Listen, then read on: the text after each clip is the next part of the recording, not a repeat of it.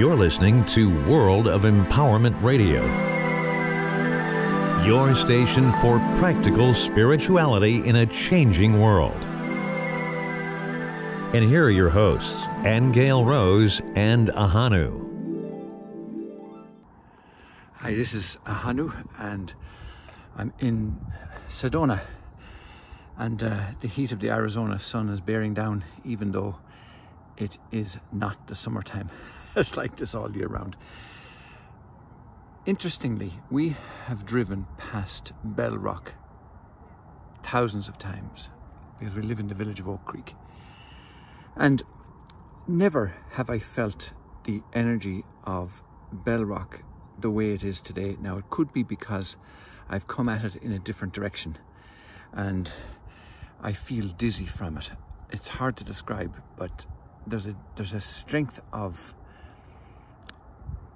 energy or, or a pulse or something that is making me dizzy and I just wanted to report that.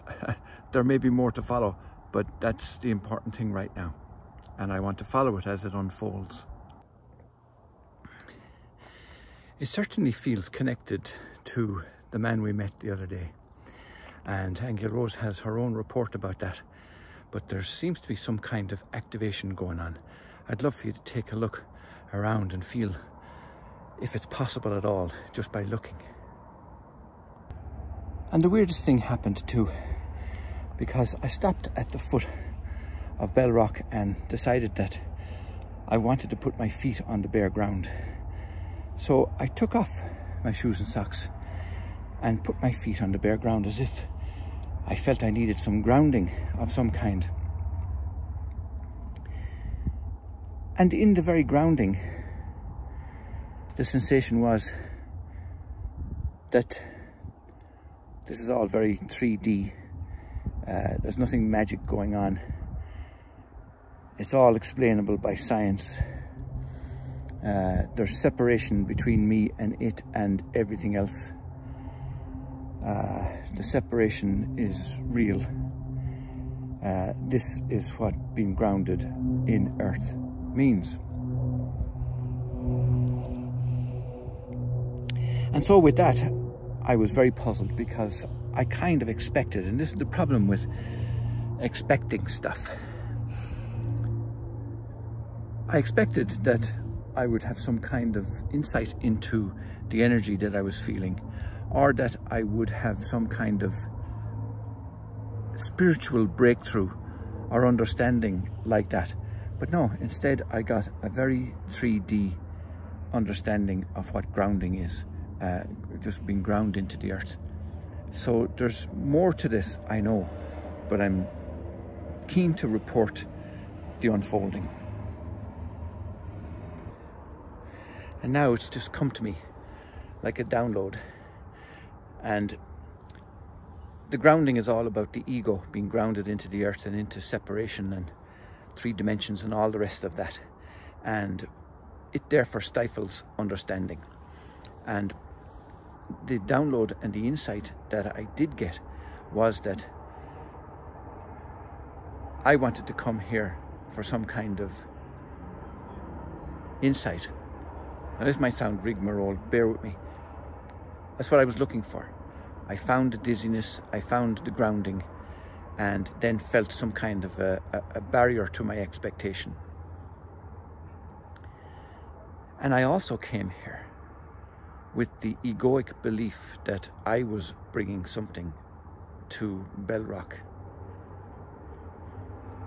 And the realization I got was these rocks are being activated just the same way as pyramids and Stonehenge and Uluru and other sacred sites around the world are being activated. We've witnessed this ourselves in the past, Aingeal Rose and I, at various sacred sites. Indeed, I drew a picture one time of Newgrange in Ireland with what seemed to be like a plume of energy coming out the top. And then subsequently other people have reported seeing a kind of energetic plume coming out the top of the pyramids. Now, where am I going with this? I feel this is the very kind of place, and there's not only one, lots and lots of places around the world that are being activated. And the other thing that hit me also was if you were to refer back to some videos that Aingeal Rose and I made about Chaco Canyon and how we parcelled up all our crystal bowls and our drums and all the rest of it, expecting that we were going there to bring something or to open the, that, that particular chakra or to somehow cause it to activate. And what a shock we got when we found that we were not needed there at all, that the place was being activated by lots of other people just the same. And it's the same thing here. There are visitors to Bell Rock every day of the year, many thousands sometimes. And it's been activated. And we can try and claim all the credit we like that, oh, you know, it was because of us or whatever. No, these places are being activated by human consciousness like it was in the beginning with the Lyrians. And uh, so that's the story that has come full circle now, and I'm really glad to be a part of it. But like I say, it's it's you, it's me, it's everybody. We're all in it together, and we're all doing it.